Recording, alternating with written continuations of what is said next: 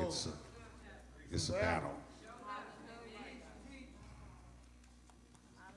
As I stated last week, that each, each one of us that has made a conscious decision to make Jesus your Lord and God your Father have entered into a spiritual realm as well as spiritual warfare.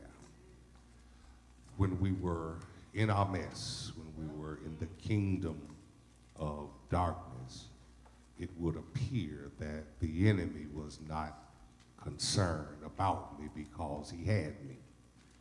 That the real battle or the understanding of battle was not until I came out of darkness into the marvelous light that I really thought that I had it going on until I found out I wasn't going nowhere until I met him.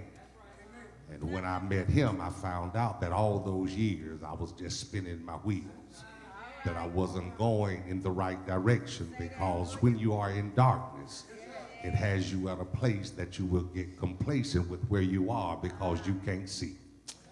I've come to find out that once I made a conscious decision and the enemy realizes that I have a real destiny outside of him, then he rages war against me. And his main thing is that is because he can't turn God against you, he will try to turn you against God. That the real struggle and the real battle and his real tricks is really not about you and him, but it's really about you and God. And it is a battle because he is the prince of the air. And so, one of the things that he uses, and one place that he battles with you, is in the spirit of your mind.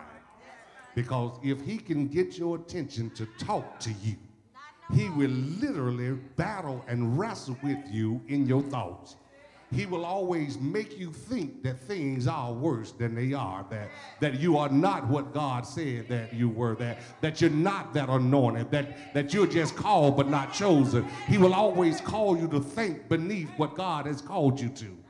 And I'm beginning to understand more and more that before the battle can manifest itself in my life, the battle, first of all, has to happen in the spirit realm. In other words, there's a battle that's up above your head.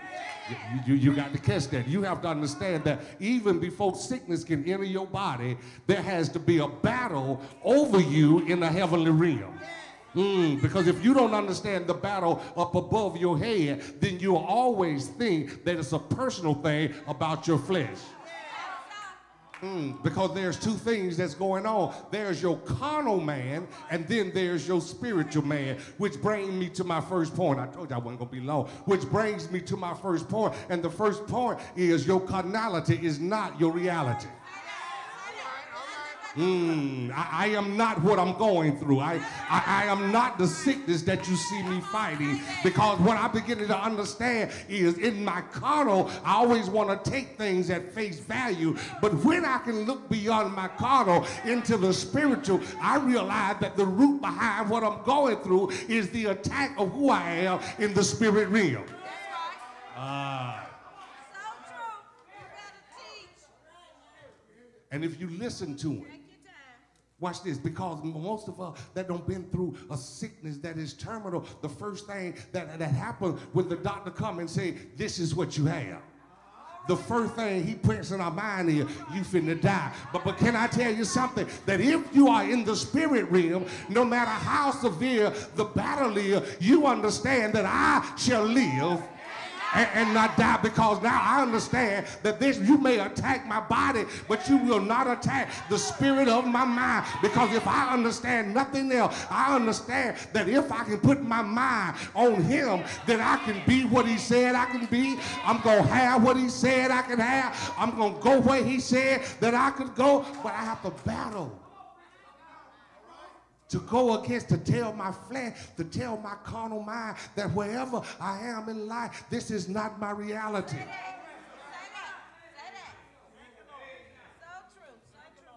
And so the thing is, He uses tricks Thank you, Father. in our mind.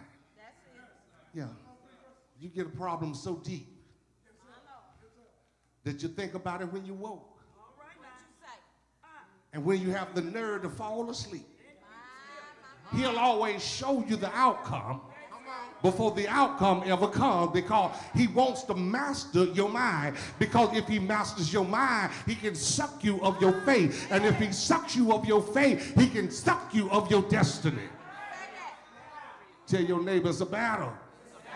Wa- Watch this. Not only is it a battle in your mind, but even when you say that you have reached a place where I'm going to do what God say do, can I tell you what happened? You end up just like the Apostle Paul in the ninth chapter of Rome. He says, look, there's a battle between my flesh and my spirit. He says the stuff I don't want to do. He says, My flesh will not fall subjective to my spirit. He says, Me and God is wrestling. My spirit is wrestling against my flesh, and I know what I need to do. I know what I want to do. I know what I have a desire to do, but how to do it.